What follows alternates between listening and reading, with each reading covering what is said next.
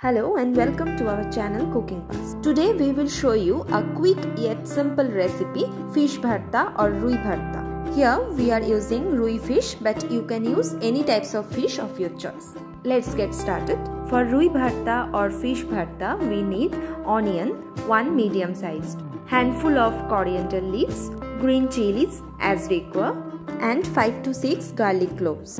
We have finely chopped all of these ingredients we have also taken 5 pieces of fried rui machh. We have marinated the fish with a pinch of salt and turmeric and then we have fried it in mustard oil until it is light golden in color. So this is the total ingredients we need to make the fish bharta or rui bharta. Next we will remove the fish bones from the each pieces of fish. Remove all bones from the fish very carefully. After removing the bones, smash the fish a little bit. Smash the fish and make sure there is no bones. We are using gada pieces. You can use peti pieces as well. That will be much easier to remove the bones from the fish. We have removed all fish bones properly.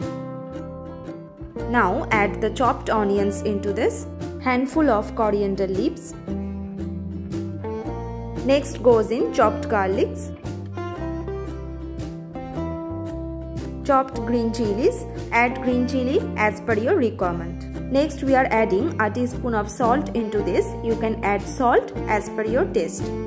Drizzle some mustard oil from the top of it. Here we are adding a tablespoon of mustard oil. You can add mustard oil as per your taste. Now take a smasher and smash it all together properly. Smash it properly and make sure all is well combined.